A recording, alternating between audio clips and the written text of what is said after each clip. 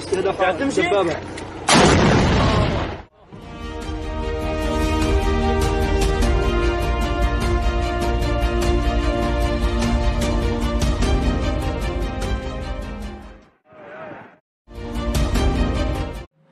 The surfing competition will be held at Shidashita Beach, located some 64 kilometers from Tokyo.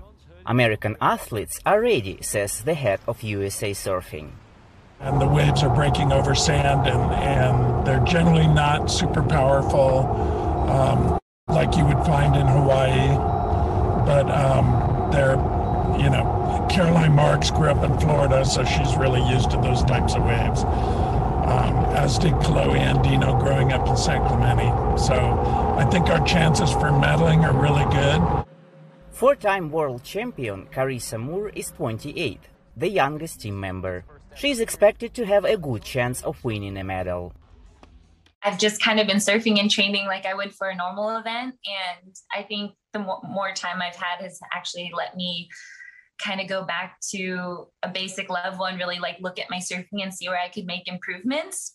All in all, 40 athletes will compete for medals in surfing 20 men and 20 women.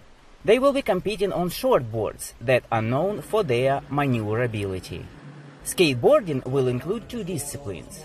The first one is street skateboarding, which focuses on flat ground tricks, grinds, slides, and aerials within urban environments and public spaces.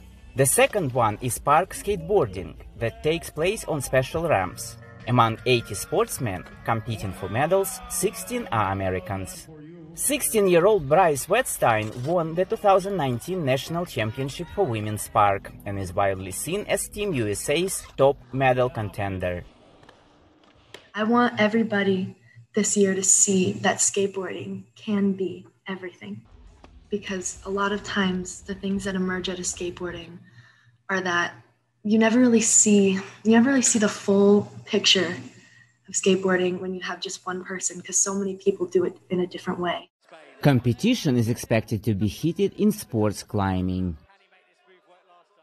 With only you know two men uh, and two women representing USA, that's a that's a really high performance uh, that's going to be required to make it you know, not only uh, obviously to the games but to make it to the qualification out of the qualification round in Tokyo and then also into the finals. Uh, uh, we just hope they have their best performance uh, on both of those days.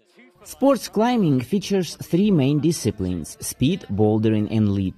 Speed climbing pits two climbers against each other, both climbing a 15 meter wall. In bouldering, athletes scale a number of fixed routes on a 4.5 meter wall in a specified time.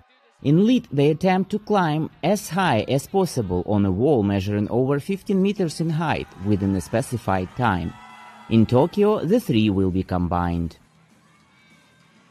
I feel like proud for the sport of climbing and for the community behind it um, because I think that it has a lot to offer the world and being on the Olympic stage will help it spread what it has to offer. Aside from any uh, result, I just want to compete my best. Team USA Karate is still working on its lineup. So far, only Sakura Kokumai has secured her spot on the team to compete in the women's individual kata event. I can't tell you how much I've given up in my pursuit of just chasing the highest level of sport it's an awesome feeling to know that we reached the pinnacle of sport. You know, there's nothing bigger or greater than the Olympics. Athletes will also compete for medals in baseball and softball, relatively new sports that are coming back after the pandemic break.